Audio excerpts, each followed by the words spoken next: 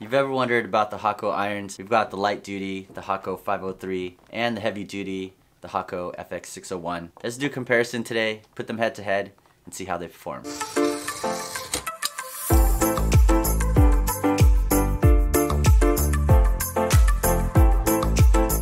On our left is the Hakko 503 model, good for basic electronics, speaker wire, and small components. And to our right, we've got the Hakko FX601, ideal for large components, battery terminals, and stained glass. The 503 is around $15 and this is about $75. So just keep in mind the prices between the two and what your expectations are for what these irons can perform. We'll see how much we can push this one to see if we can get some good decent stained glass work with it.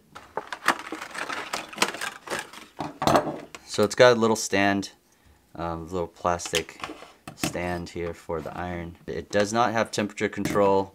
You plug this straight in to the wall into your power. Decent size. It's very lightweight. Let's put that there for now. This one here is a used iron. That's the only one that I've got. Unfortunately, I don't have a new one to test. So I've got a stand that I'm using for the, the Hakko. Uh, this one slips in right there and you just plug in your iron. And it's got the brass coils. This is so much nicer than using a regular sponge. Uh, typically you would have a sponge. I'm bringing you this old stand that I have. Um, so you wet that and once you're done soldering and you're trying to clean the tips you just wipe it off on the sponge. Uh, you do need something to wipe the tips as you're working. Um, so the sponge is a great start um, like I did before until I found out about the brass coils. I upgraded to this. It's not that much more but um, it just saves a lot more time. It's less messy. Um, it works the same way. I actually like it better. Dip in the tip right into the coils and it cleans it off and you don't lose as much of the heat. So that's kind of my take on the differences between these two, the sponge versus the coils. Get the coils if you can, otherwise the wet sponge will be just fine. And for the sake of time, let's get some scraps we can play with.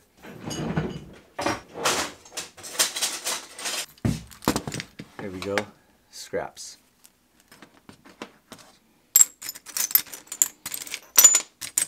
Once in a while, we get to use the carborundum stone pretty nice. Just file that down.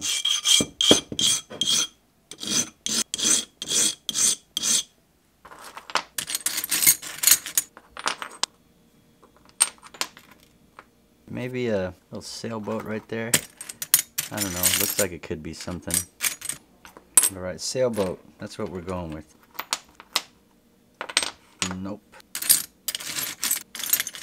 Okay, this is getting Oh, this looks like a boat already.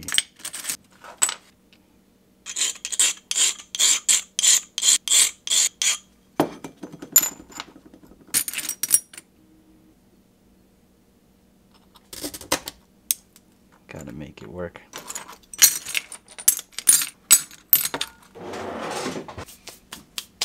Alright, let's wrap this up.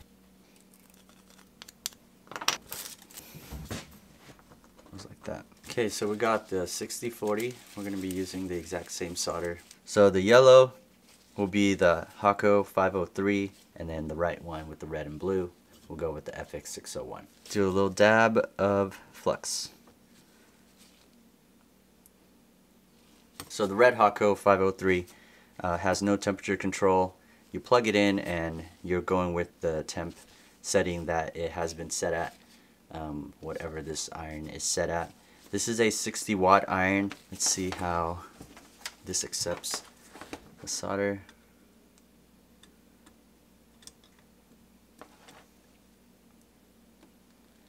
So I have to wait a lot longer for this to heat up. Normally the Hakko FX601 here is already going and ready. Let's try this one out. We're gonna just melt a little bit right there. And we're gonna do a dab. to seal it in. And it's all connected. Now this one's starting to heat up. You can actually see some of the smoke already burning. Hopefully it is ready and hot enough. Okay, it is accepting. Now I've got some solder right there and we're just going to do a dab where we added that flux. Put some flux on here, we'll add that last dab.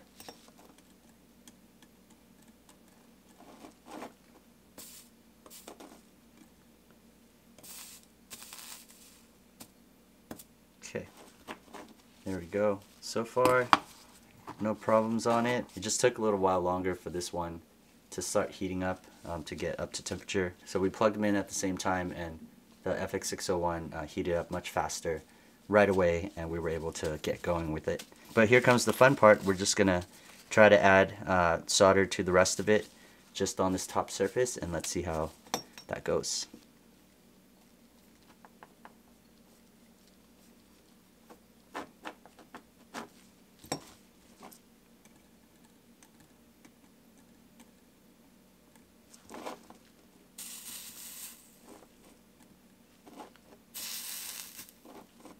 And it's melting the solder fine, so as long as it's getting solder onto the iron, I think you should be good.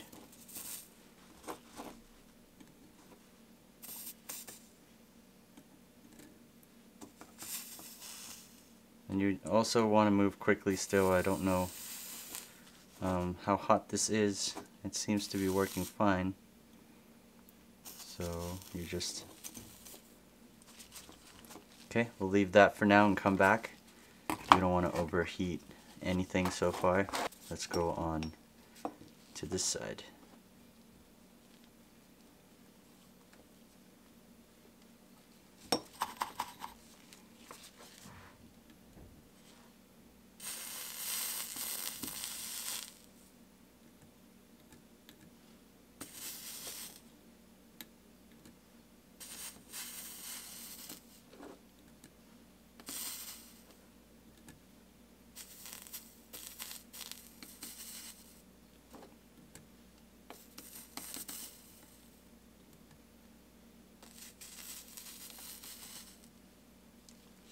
Okay.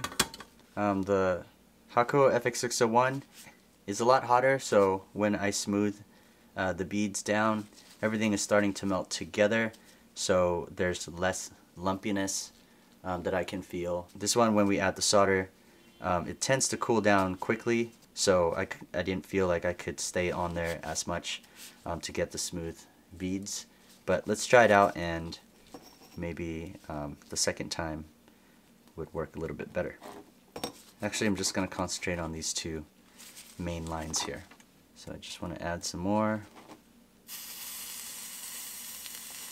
Yep, that's totally fine.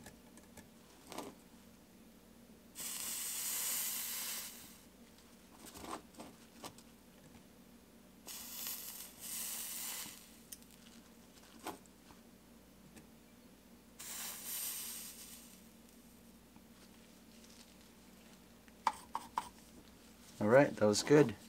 Smooth out the bead lines here.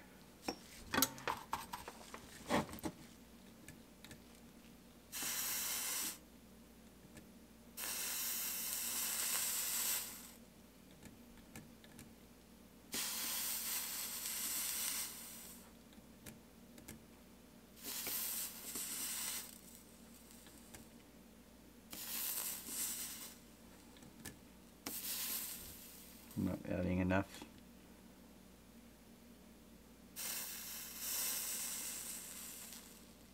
Let's let that cool and I can show you how it looks. I think it looks really good. The lines came out pretty nice, looks pretty smooth.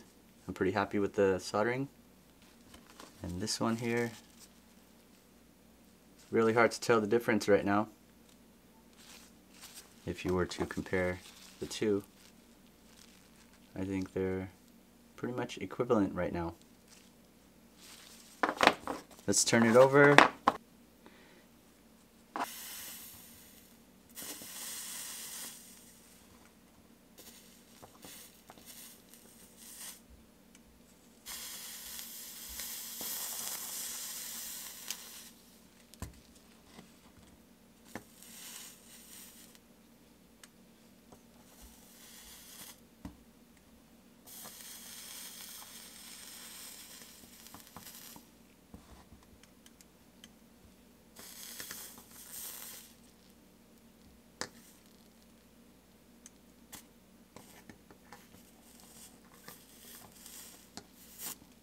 That was good.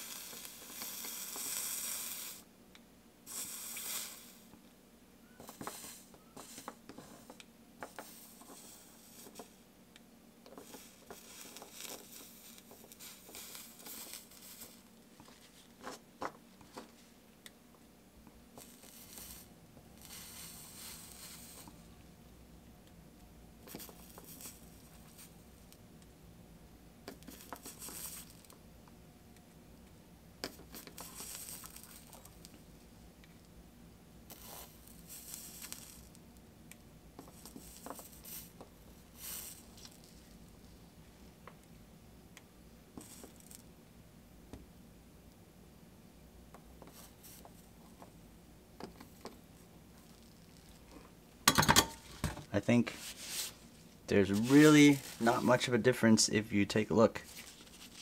It's coming out quite nice, even with that cheaper uh, soldering iron. I'm really happy with it. Um, it works great. Let's get the sides.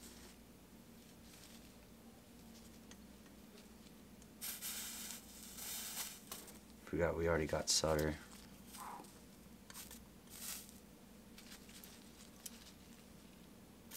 So we're just going to move quickly.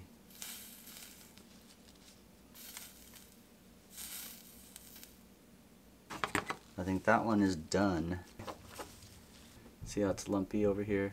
You can just drag, move it around like that, and